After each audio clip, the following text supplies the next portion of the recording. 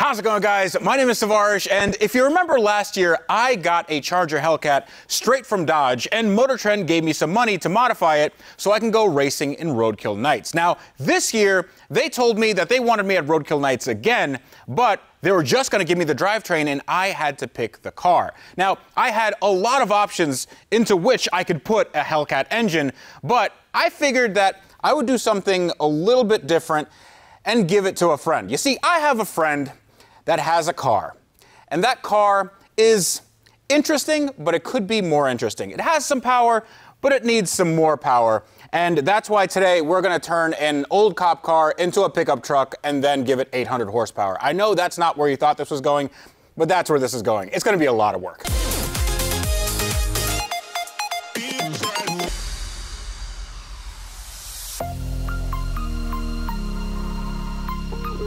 So if you guys are new to my channel, thank you so much for watching. I really hope you enjoy it and consider subscribing if these are the kinds of cars and projects that you like to see. Now, this is not my car. This is not my shop. I am not at home, but we're still gonna have a lot of fun because I am in Georgia, I am in Wrench Everyday HQ, and I am at my friend Jared's shop because this is his car. Hello. Hi. So, um, First off, there's something special about this car, there, right? There's a lot of fun history with this car. So most of it was used in the movie Need for Speed. Mm -hmm. uh, it's your fault that I ended up with Project Roadblock. Mm -hmm. uh, we were there to pick up your fake Lamborghini, and I saw this poor thing piled with stuff on top of it, covered in dust, and had to rescue it. And then we finally got it working uh, with all the electronics. We had to get an entire another charger, and we had just gotten it pretty much mechanically sorted. It needed some suspension help. I was really enjoying driving it, and then Mother Nature happened. I'll I'll I'll show you what what that is.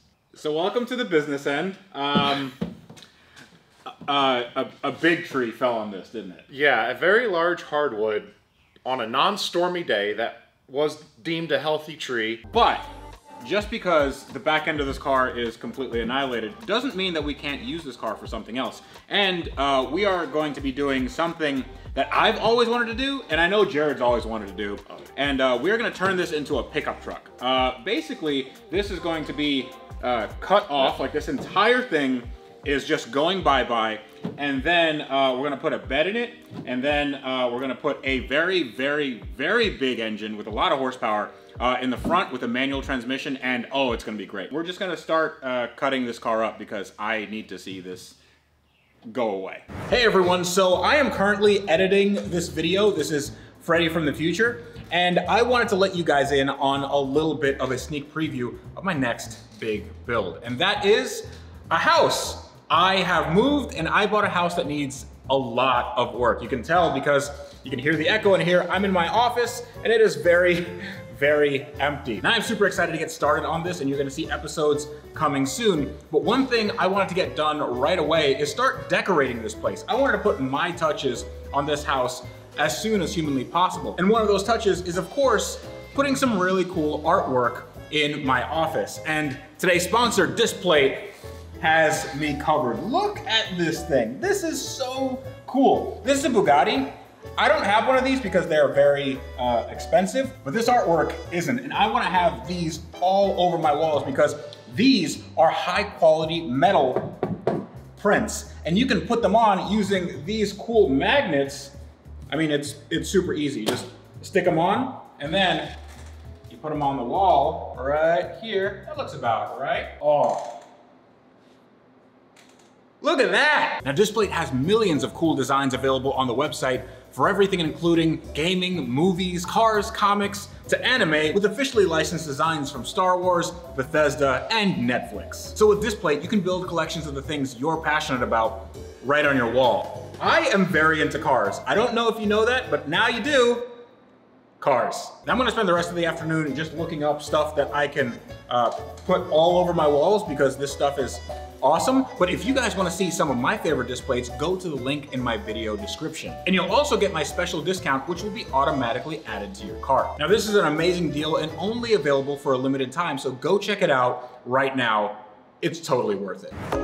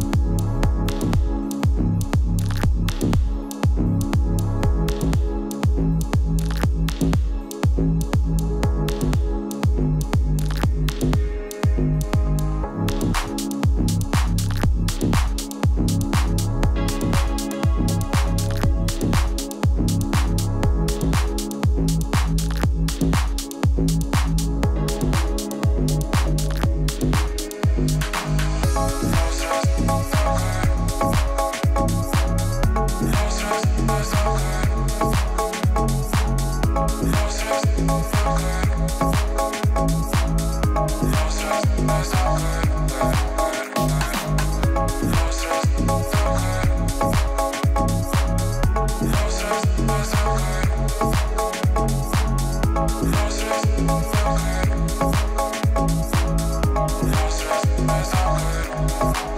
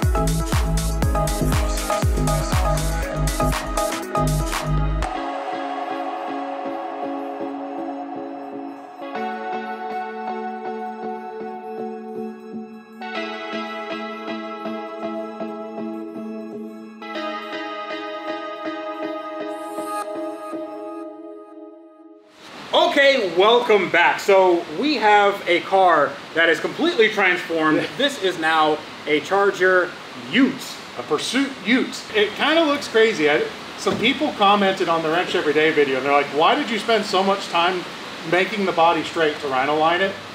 And it's because I knew what it would look like underneath and I wanted it as good as possible. So Yeah. Uh, I think the transformation um, cosmetically is mostly complete. We still have a few more things to do, but mechanically, we're starting off in a big way because you'll see the hood is popped, and you'll see that we are both uh, quite tired and dirty and um, and and wet because it's very hot. it, it is a little humid, as you can, it, the sky is crying. Yes, it's raining outside. Uh, it's very humid. We have no AC. And uh, in here, so you guys can't see this, there ain't no engine in here. We have removed the engine, and not only the engine, but everything underneath the engine. No subframe, no suspension, nothing like that. Because, why are we doing that, Jared? Uh, we're upgrading. We're upgrading. We're upgrading just a little bit. Can I? Yeah, Can I pan, show- pan over. Pan- Oh, look at that. That is a Hellcrate Red Eye engine. This is from the Dodge Direct Connection program. This is where you basically go to the dealership and buy this and then put it in your car. This thing makes 807 horsepower and it's mated to a manual Tremec Magnum transmission and, it has a warranty. and it has a warranty. That's the most impressive part. That you buy all of this through a power broker, our our Georgia power brokers, Palmer Dodge, and we install it. And I think it's a two-year warranty. I we'll have. It's not a two-year warranty. this thing is absolutely insane, and uh, the 5.7 Eagle was not a disappointing engine. It looks a little bit disappointing right It's there. a little it's, it's, a, it's a little disappointing. It's got a really exciting story and future ahead of it, but I'm more excited about this because Yeah. there's few things better than the Dodge Charger supercharger whine or the Challenger. Just the Hellcat supercharger whine is amazing, and that's why they you can get good fuel economy, but you never do because you just play with the supercharger all the time. Yeah, absolutely. You, you do not get any sort of good fuel economy. And I should know because I brought that. And That's for parts, right? this, this is not for parts. Don't you dare. You don't don't touch my car, Jared. But what's real exciting is, like you said, the Tremec manual Mm-hmm. because it's going in a Charger. Something Dodge never offered. Uh, well, I mean, Dodge also never offered a Charger in a pickup truck format, so uh, we are just breaking all the rules today. We are about to put this engine in, and not only that, we have to button up everything in the rear. The rear, we actually changed to a Hellcat. Uh, I don't know if you guys can notice, but the Hellcat shocks right there, they are uh, electronically adjustable. Unfortunately, we don't have that adjustment, so we're we're just gonna run what we brung there. I hope whoever crashed that Hellcat was in party mode because that's how they'd stay. We also got some more parts. So There's parts everywhere. I brought some parts from my shop. So we have OEM Dodge Demon wheels. We got skinnies and we got big fat drag radials in the back. I have no idea if this is gonna fit. Your car is not a Dodge Demon, so uh, we're gonna see if this fits. Also, we have some big, big honking brakes.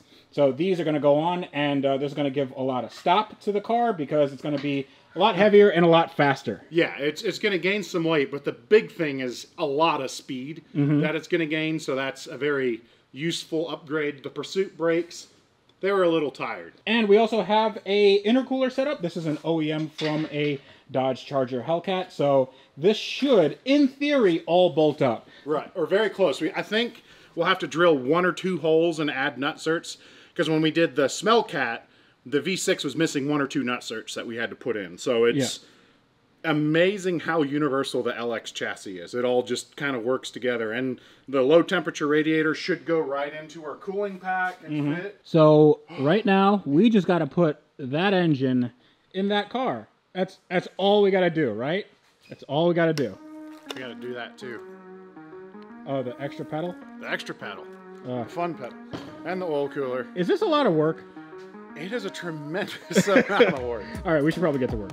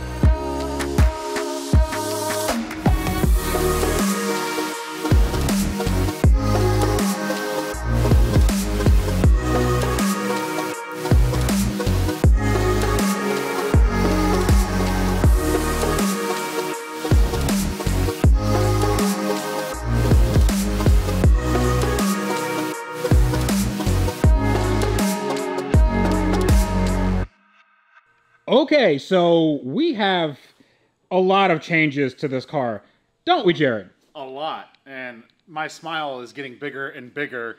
Oh, you could barely contain that smile. Look at It, you. it Ah, is so ridiculous. boy, Like, so happy. my, it- it's it's about as uh, uncontained as my hood. Like I can't close my hood.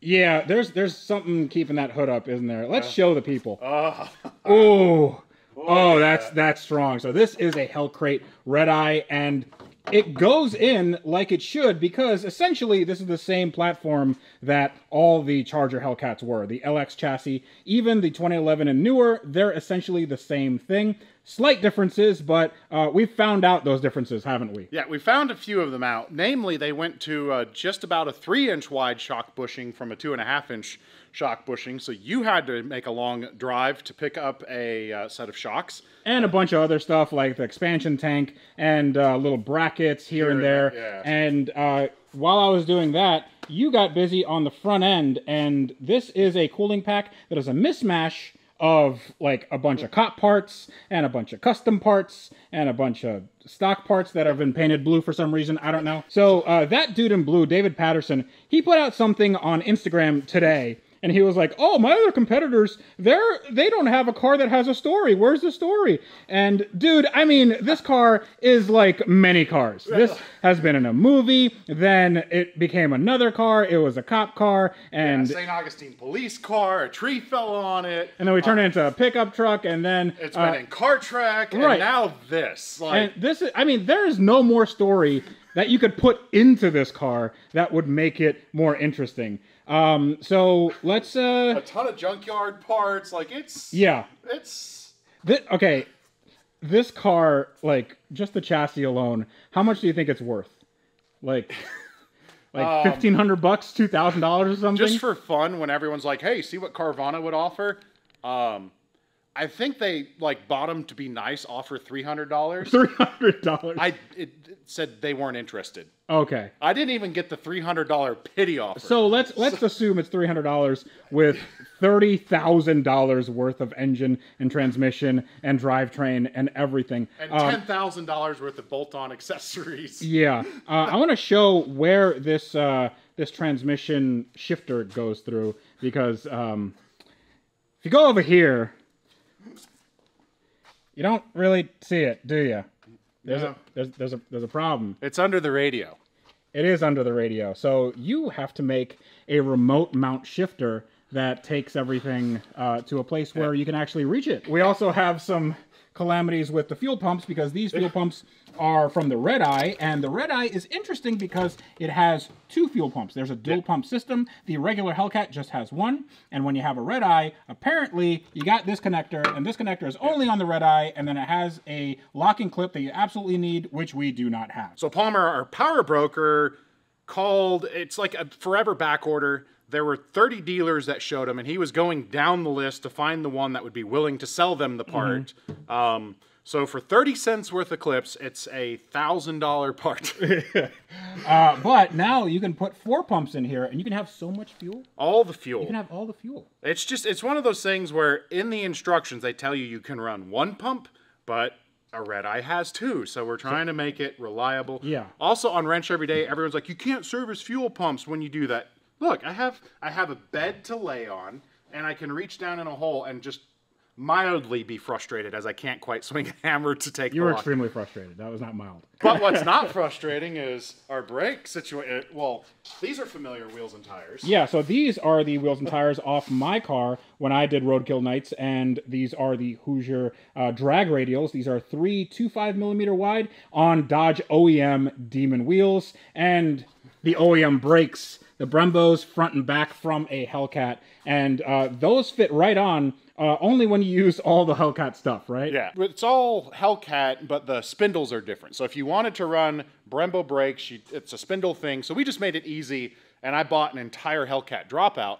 But We should show them what's underneath there because there's, oh, there's, there's, we're not even ready to go underneath. There's more wheel Oh, action. oh, okay. oh, yeah. All right. So these are some Halibrands uh, that just came out with. I picked bronze because bronze and black and white is the perfect color choice. But I think it pops. It looks really cool. I think it was great. with Brembos up front.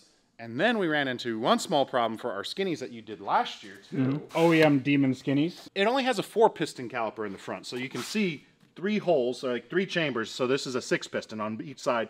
The Demon has a much smaller caliper. So to run our skinnies, I ordered a two inch spacer that will set this out, clear that, sit flush with the body. And since it's not a drive wheel, I'm not worried about it just for the purpose of the drag racing. I would be cautious about running that type of spacer with aggressive launches in the rear, but this is just kind of along for the ride. Yeah, so. I think this is going to be no problem. And that looks that looks pretty. That looks. Oh, that was pretty. dope. It's heavy, isn't it? It's heavier than it should be for a skinny. It really is. Like you think that's light, it's not. I don't know what the speed rating is on these, but uh, just uh, be careful. Uh, I mean, probably 150. It's probably less than that. So welcome under the uh, Hell Camino here. Uh, we got a uh, oil pan that is. Uh, I mean, just look at it. It says SRT. It's angry. It's an angry oil pan. So we have the uh, steering rack from the cop car, and that's you know it because it's oily and uh, sort of dirty. Uh, but everything else is nice and clean. And what's really cool is this guy. So this we just bought off of, um, you know, right off of a, a parts Yeah, catalog. for the LX Charger chassis it's swap. A, it's a very common. Sw- Jared made this. Uh, so he made it, and it looks pretty good. It looks, I'm- uh, I'm it looks, it looks great. It. puts the trans exactly where it should be. Which is kind of weird because the mount is Yeah, the so- mount the mount is is, is a little cattywampus, and that is not uh, a mistake. It's actually because the transmission is a little bit cantilevered like that. Yeah, just in the back. Like you follow it along, it's nice and flat, and then it's just like beep. Yeah. Uh, but right here is the uh, big uh, shaft, and I will refrain from any jokes because we are a mature channel, Yeah. Jared. Um, so this is uh, a shaft made by who? Uh, it's Driveline Services of Atlanta. They're in Norcross. They have done great work for multiple things on the Wrench Everyday channel. They did the big shaft for the Transcon van, the, the Cannonball van. They've done it for the Drift BMW. And they turned this thing around insanely quick. We initially called and said, hey, we're going to bring this on a trailer so you can measure it so it's perfect. That didn't happen. Turns out when you run into a million problem delays, we finally called them up and said, here's the deal. And we sent them just very detailed, you know, pictures and everything. And they said, we can get it. Mm-hmm. And I told them, hey, we really don't need it until after the weekend. And then it turned out you were going to be driving right by it when you mm-hmm. needed more parts. So I called them up and I said, I, Is it ready? Is I it done? like, I, I know you cannot get it done, but if you could, we're going to be nearer by one. And they got it done on time. It's per, it fit absolutely perfect. And Um, uh, and then this is going to be turned into a pretzel uh, at some point. I hope Uh, not. uh, I also hope not. But because it- it's not cheap. When you go four inch aluminum, the billet front shaft. So really, if you have a T56 and you're making more than you know 650 horsepower, which this does, Yeah. your output shaft should be billet. The cast ones will explode on you. Um, then we have really big U joints back here with a special adapter because normally this would have a funky CV joint that's hard to adapt to and they explode. So G-Force has this great adapter that lets us go to what's called a 1350 joint, which is what big rig, you know, not big rigs, I'll say, you know, heavy duty 3500 trucks use. Like it's meant for big, heavy things. yeah. And then we got this beauty here. Yeah, so that's our rear end. We have Hellcat axles. Uh, we got the suspension and everything put in. We put the stock ABS sensors back in where they should go. Uh, everything is uh, plumbed in other than the uh, active suspension, which this car does not have. I don't know. You can you can figure that out at some and the point. active uh, exhaust valves. Well, the other fun thing is limited slip back here. So that means the tires turn together, They do. which is what you need for uh, drag racing, drifting, Generally, gen- gen- everything. general hooning. Generally, everything is better with the limited slip differential. Let's start it up. Let's let's do it. Well, okay, so we should divide and conquer. There's still a few coolant lines to go. There's ECU mounting. There's the new pedal to put in, the shifter to make, uh, the vehicle wiring and integration. We got to get the fuel pumps in when they come in. Uh, all the fluids need to go in it. Where are you going? I'm I'm not I'm not gonna be here. I'm just I have. I'm I'm gonna gonna back away. Jared, you know you know how to how to get to Michigan, right? Hopefully not as uh, rushed as last year. Hopefully I can have a little bit more time than. Yeah, I think you got like three days, dude. All right, good luck. I hope you like your car. It's gonna it's gonna sound great. It will, All right, all right, Jared. Bye. Alright, everyone, as we've been busy building cars this entire episode, I figured now's a good time to explain what Roadkill Nights actually is. It's a 600 foot street legal drag race on America's first paved road, Woodward Avenue in Pontiac, Michigan. We'd be competing against seven other automotive celebrities in a grudge match for ultimate bragging rights and a chance to beat Alex Taylor and whatever impossibly fast car she thought to bring with her. As I am a generous man, and I really, really didn't want to break Jared's car, I decided that it was best for him to drive and do the first round of callouts. And immediately, Jared found the only other person that had less mechanical sympathy than he did. Okay, so first grudge race match against Westen Champlin. You Hi. look you look really uh Hello. you, you, you look good, man. It's been a long day. It's been a long day. it's been a long month. It, it has. I die. So, what do you uh, what do you think is going to happen? I'm going to spin my tires and he's going to spin his clutch, and it's whoever can stop the spinning first that's going to win. I'll tell you what, my clutch likes to spin a lot. I'll tell you what, my clutch smokes more than my tires do. And also, when I try to do a burnout, boy, one of my tires spin. Not sure why that happens. That's not that's not good. It's not really good. No, it's Your car sounds really broken. The, hey, the car sounds great. Everything that like makes the car move sounds bad. How do you feel? Westen's cars just started crunching from the transmission when he pulled up. Okay. So I may back off the strategy of trying to jump polite and just don't spin. Because between the crunch of his transmission and his clutch, I just I need to be smart. I need to get it A to B, which the car can do. Yeah, he's going to try to break his car. Don't you, you want to you want to keep this car? Absolutely. Yeah. He's got like 14 Hellcats back home in the farm. So this is the one I've got. So we're not going to break it, No. but we're going to put on a show. A trophy would be wonderful. Absolutely wonderful. I want to win. I think the trophy is sticking But, out of your hood yeah, right there. I, I want. I've got a trophy. Yeah. Everyone's excited about this. Okay. Cops right. are coming up and telling me how much they love it. So Jared, no pressure. We're all counting on you.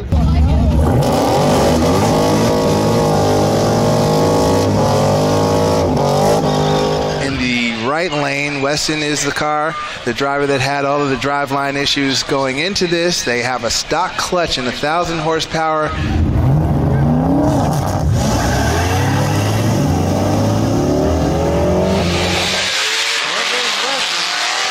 Westen, stock clutch holding up for the first lap, gets to the finish line first against the pursuit Ute.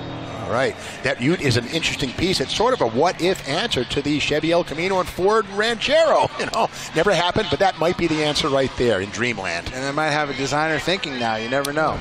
I should have jumped him. Yeah, That you clutch coulda. held in. Yeah. Did you uh, did you miss a shift? It, second just decided it didn't want to participate for a while. like it's it just would not come in. Would Yeah, not come uh-huh. in. Would not come in. Would not come in. And it was like, dang it.